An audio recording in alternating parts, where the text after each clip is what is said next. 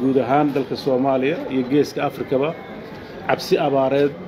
oo ay laga baqaa inay macluul isku beddesho ayaa qarka loo saaraya ilaahay subxaana wa baa ku filan wax la baryo aadano wuxuu hayo waa kooban yihiin. Ilaahay subxaana wa waxaan ka rajaynaynaa roob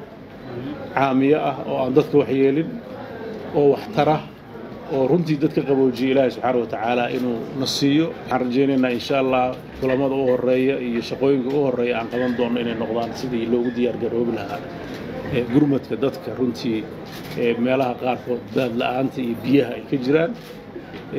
Kana taxadarno ka gaarno inay dadkeennu runtii guud ahaan dadka soomaaliyeed iyo kuweennaba inay maaragtay xeer macluul la gaaro. Waxaan ilaahay ka rajaynaynaa rabaad in uu raxmaddaas na waafajiyo oo ilaahay maaragtay u naxariisto bulshadeena dhanka kale madaxweyne deni ayaa guud ahaan shacabka puntland fariin codsiya u diray annagoo isku duuban oo iswada haysanna dabcan waxaa intaa noo dheer oo ilaahay baryadiisa noo dheer dad muslimiina oo mar walba gafayaan nahay wixii dunuub ah ee dadka kale gaaray in layska cafiyo in dadku ay maaragtay marxalad cusub oo weligeedii allehe doorashooyinku waxay iska leeyihiin